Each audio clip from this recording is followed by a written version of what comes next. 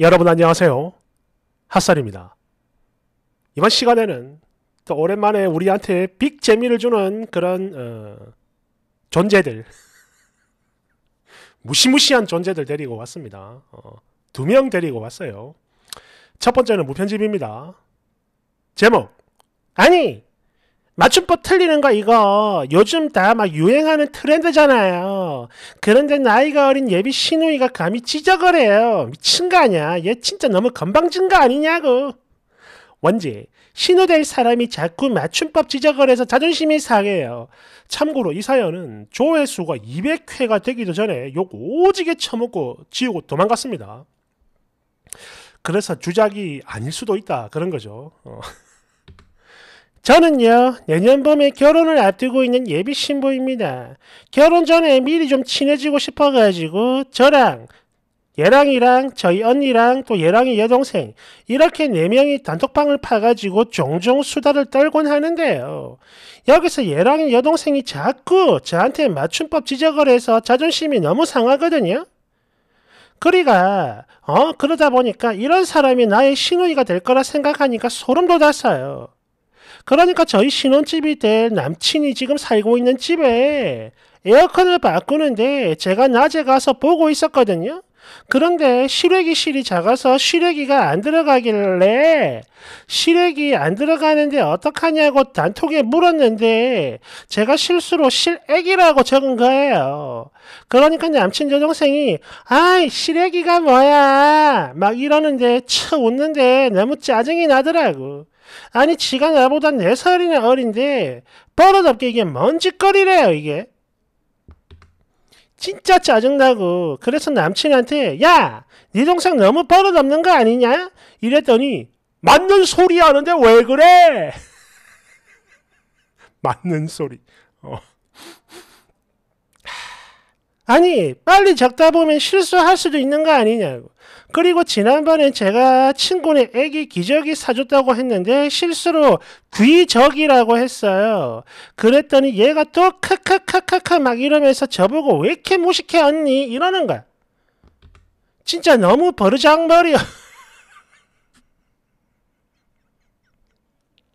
버르장머리 없어서 기가 막혀가지고 또 남친한테 야! 네 동생 자꾸 나한테 너무 막말하는 거 아니야? 이러니까 남친은 또 지 동생 편을 들면서 아니 애가 맞는 소리 하는 건데 네가 예민한 거지 이래요. 그리고 전에 뉴진스 얘기하는데 제가 민지 얼굴 넙대대하다고 했다가 또 남친 여동생이 언니 넙대대가 아니고 넙대대라고 지적해가지고 저는 넙대대가 맞는 거 아니냐 이렇게 따졌더니 열받아서 반박했는데 그걸 또 네이버에 들어가가지고 스캔깨지 해갖고 들이밀면서 지가 맞대요. 진짜 너무 어이없고 속상하고 그 와중에 남친은 지 동생 맞는 말 하는데 제가 승질 낸다며 더 화를 내고 진심이야. 지 동생 편들은 남친 너무 섭섭해요. 아니 요즘에 맞춤법 따위 누가 그렇게 신경 쓰고 사나요? 일부러 재미있으려고 틀리는 거 아닌가요? 트렌드잖아. 아 진짜 이러다 보니까 너무 자존심 상하고 남친 동생에게 진심 어린 사과를 받고 싶어요. 아니 내가 지보다 나이가 4살이나 많은데 이러는 거 진짜 버르장머리 너무 없지 않나요? 너무 그지 같아가지고 주작인가 싶은데 이게 또 금방 지우고 도망갔거든요. 헷갈립니다. 어. 더 있어요. 댓글 1번. 아니 네가 네 살이나 더 많이 처먹었는데 초딩들도 아는 맞춤법 틀리는 거 그건 자존심이 괜찮아요? 참 신기한 사람이다. 대됐으니 요즘 초딩들 맞춤법 엉망진창인 거 모르시나 봐요? 요즘은 그게 트렌드라고요. 2번 예? 맞춤법 틀리는 트렌드도 있어요? 야, 뭐 멍청한 게 유행이라니 헐. 그래요. 멍청해서 참 좋겠다. 깔깔깔깔. 됐으니 요즘 다들 맞춤법 파괴가 트렌드죠. 님이야말로 너무 유행을 모르시네요. 방송 자막도 보면 일부러 다 틀리잖아요. 그래요. 대가리가 멍청하면 해맞기라도 해야겠죠. 그래, 파이팅이다. 2번. 이게 주작이 아닌 거면 맞춤법 진짜 심각한 거요. 님 엄청나게 무식해 보이는 거 솔직히 네 스스로도 알고 있죠. 그죠? 깔깔깔깔. 아니요. 네가 훨씬 더 무식해 보이는 거 그건 알겠네요. 푸흡. 할 말 없으니까 네가 더 무식해 일알지. 그럼 계속 그렇게 무시당하면서 평생 무식하게 살든가. 뭐요? 지금 이 사람 이거 심심해가지고 장난치는 거죠? 그렇죠? 되셨으니 저 장난치는 거 아니고 기분 나빠 쓴 거예요. 또 몰라서 틀리는 거 말고도 장난으로 또 실수로 틀린 것도 대놓고 지적질을 해야 되니까 짜증나는 거라고요. 억울하고. 아니 그럼 어? 지금 맞는 말을 맞는이라고 쓰는 거 버르장을 버르작이라고 쓰는 게 진심이라는 거야 지금. 어이 얘기 이것도 다 진심이네. 달달달달달. 얘 미쳤나봐. 정신 차려요. 너 지금 억울해 할 게 아니야. 3번. 아니 모르면 배우거나 수용할 생각을 해야지. 왜 이런 거지 같은 자존심을 쳐 부리는 건지 이해가 안 되네. 아니 자존심이 상한다고? 그럼 네가 똑바로 해 먼저. 그렇게 해가지고 지적질을 안 당하면 되는 거 아니야? 안 그러냐고. 4번. 아우 그 예비 신우이 얘랑 말도 섞기 싫겠다. 이 그지 같음이 옮을 수도 있으니까 으 그지 같아. 두 번째 사연 원제 소개남 맞춤법 여러분 안녕하세요. 저는 그냥 30대 평범한 여자입니다. 다름이 아니고 얼마 전에 지인을 통해 소개팅을 했고요. 그래서 지금 상대방 남자랑 계속 톡을 주고받고 있는 중인데 이 사람 맞춤법을 너무 심각하게 틀리니까 좀 많이 깨서요. 물론 저도 맞춤법 정확히 다 아는 게 아닌 만큼 어느 정도는 이해를 해보려 노력을 하는데 이 사람은 그 정도를 아득히 초월하고 그리고 저 같은 경우에 뭐 조금 모르거나 헷갈리거나 하면 먼저 검색을 해서 확인을 하고 그런 뒤에 톡을 보내거든요. 근데 이 남자는 그 정도의 노력조차도 안 한다 이거예요. 게다가 보통 다른 사람들도 누구나 다 쉽게 틀리는 그런 것들뿐만 아니고 아니 이걸 몰라? 싶은 것들도 다 틀리니까. 이젠 막 톡을 주고받으면 글의 내용보다 맞춤법만 보게 돼요. 몇 가지 예를 들어보자면 멸치볶음을 볶음이라 쓰고 난리 났다는 걸 난리 났다! 이렇게 쓰고 차가 막혀서를 막혀서 합의를 합의! 동네를 동네 이렇게 적어 보냅니다. 처음에 실수인가 했는데 아니에요. 보니까 계속 이렇게 써요. 아니 뭐 나이가 어린 뭐 10대 그런 학생도 아니고 이제 조금만 더 있으면 40인 사람이 이러니까 저 진짜 어지럽거든요. 어떤가요? 그냥 이거 눈 감고 조용히 넘어가야 되는 걸까요? 아니면 그냥 서로 시간 낭비 안 하도록 여기서 딱 잘라 거절을 하는 게 나을까요? 여러분 의견 주세요. 뒤에 후기 있습니다. 댓글반 헐 누구나 다 실수하고 헷갈리는 그런 단어들도 아니고 제가 쓴이라면 이거 절대 못 만날 것 같아요. 2번 성별을 떠나서 기본 상식이 없는 사람들과 엮여봐야 내 인생에 진짜 아무것도 좋을 게 없습니다. 이거 진짜예요. 그러니 그냥 여기서 깔끔하게 정리하는 게 거절하는 게 더 낫다고 봅니다.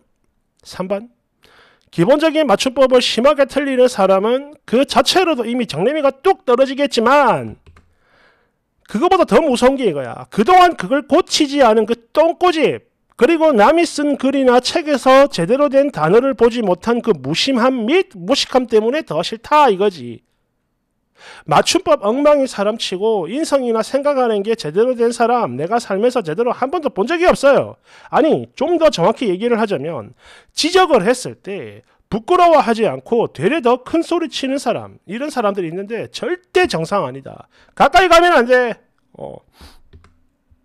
4번 아니 그래 뭐 백만 번 천만 번 양보해가지고 다른 건 그래 뭐 귀찮아서 그랬겠구나 이렇게 생각을 해보겠다만 도대체 합의는 뭐냐?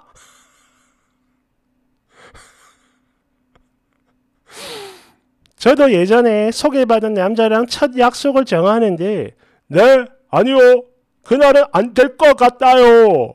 가자요. 어 혹시 이틀 뒤에는 괜찮으세요? 등등등 뭐야 장난치는 건가 웃기려고 이런 생각이 들 정도로 모든 문장이 다 틀리는 거예요. 너무 황당해서 저기 혹시 술 드셨어요? 라고 물었더니 아니요 안 마셨는데 라고 답장이 오더라고. 나이 서른 초반에 사진 보니까 얼굴이 정말 잘생겼던데 이런 답장들 보자마자 제 등 뒤가 서늘해진다. 내 등 뒤가 서늘해진다. 이게 무슨 말인지 바로 깨달았고요. 또 정말 다행스럽게도 서로 시간이 계속 안 맞아가지고 결국엔 흐지부지 됐어요. 너무 다행이죠. 6번 저도 비슷한 경우가 있었는데 이 남자가 문안한을 문안한 일 끝나자마자를 일 끝나자 말자. 조급해 하지 마를 조급해 초급. 아 이거 제가 잘못 썼네요. 초급해 하지 마라고 썼습니다. 이러다 보니 만나기도 전에 정 오지게 털려서 적당히 그냥 거절했더니 이때 정확하게 뭐라고 했냐면 헛웃음이 나네요 이렇게 답장이 왔던 게 아직도 기억납니다. 진짜 환장할 노릇이죠. 헛웃음. 7번. 그냥 무조건 걸으세요. 사람이 착하고 나쁘고를 떠나서 지적인 수준이 안 맞으면 서로가 힘들어. 못 견딥니다, 그거. 안 된다고. 8번. 아, 그 새끼가 나한테 보냈던 마지막 톡. 이게 대박이었지. 우리 그만 헤어지자. 이게 내 한계다. 한계다. 한 개. 두 개는 넘나? 9번. 10년 전에 잠깐 만난 두 살 연하 존잘남이 생각납니다. 나 지금 한솥 도시락 먹었어. 이따 누나 동네로 갈게. 이 문자 받았을 때 내가 받은 충격은 둘째치고 그의 무식함을 어떻게든 잊어버리고 계속해서 그 사람의 그 친구의 존잘인 얼굴을 떠올려 봤지만 결국엔 실패했어요. 극복이 안 돼. 꽁꽁아, 잘 지내고 있니? 너 여전히 한솥 도시락 먹고 있어? 좋아? 10번. 아, 진짜 너무 싫어. 뭐 하고 있네? 밥 먹었네? 이렇게 쌍시오도 안 쓰는 거 극혐이고, 어이를 아이로 쓰는 거, 이거 역시 극혐이야. 그리고, 자나, 자나, 이거를 자나로 쓰는 거 진짜 죽여버리고 싶어.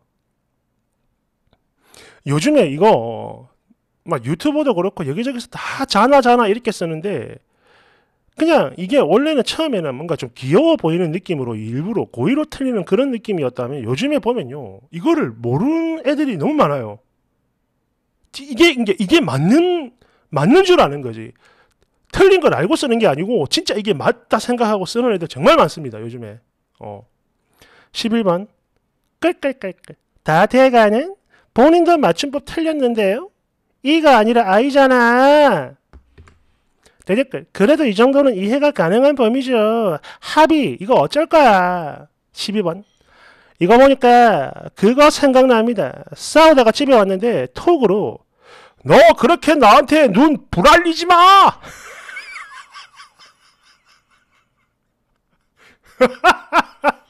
어. 13번. 쓰니 마음 충분히 이해됩니다. 남자 역시 마찬가지죠. 여자 얼굴이 아무리 예뻐도 꼴 텅텅 빈 거 보면 바로 확 깨버리거든. 어, 추가. 댓글 감사합니다. 그리고 저도 되되 틀린 거 몇몇 분들이 지적해 주셨는데 바로 고쳤어요. 죄송하고 또 감사합니다.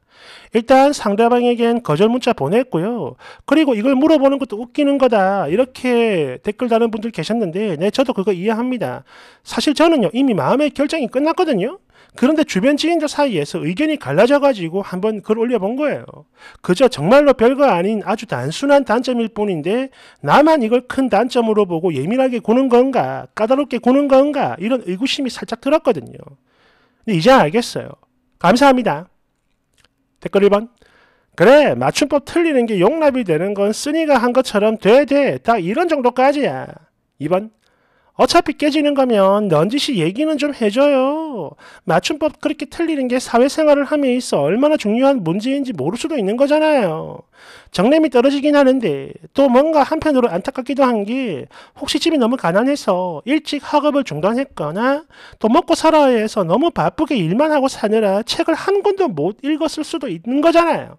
그것도 아니면 경계성 지능장애가 있을 수도 있는 거고 에구 어쩌면 좋아. 3번 그러니까 나이 40이 다 될 때까지 혼자인 거죠. 남자 나이 30 중반 이후 솔로들 중에 본인의 적극적인 의지가 있는 비혼이 아닌 이상 외모, 성격, 경제력 이 세 가지 중에 한 가지에 심각한 하자가 있는 거라고. 내가 봤을 때 저 사람은 성격에 문제가 있는 걸로 보여요. 남들이 분명 지적을 많이 했을 거야. 그런데도 절대 굽히지 않는 그런 개똥고집을 가지고 있는 거지. 그게 아니면 저렇게까지 틀릴 수가 없는 거거든. 4번. 정말 잘하셨어요. 쓰니 생각 100% 동의합니다. 5번. 이거 뭐 남친도 남편도 아닌 기껏 소개팅이니까 그냥 여기서 연락 안 하고 안 만나면 그만이지만 저는요 저희 가족이 이래요 바로 우리 엄마 지금 50대 초반인데 아무리 알려줘도 소용이 없어요 그냥 자존심 상해하고 개선의 의지가 하나도 안 보여 이거 어쩌면 좋아요 6번 음식을 쩝쩝거리며 처먹는 것들에게 지적을 하면 이렇게 먹어야 복스러워 맛을 느낄 수 있다고 등등등. 절대 인정 안 하고 더 시끄럽게 처먹는 것들이 있죠. 이것도 마찬가지입니다.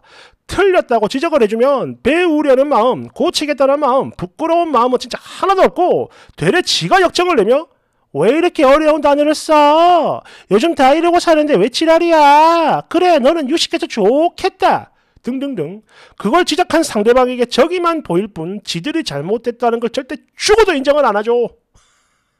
요즘에 이런 것들 많죠. 뭐 심심한 사과문부터 어마어마합니다. 음.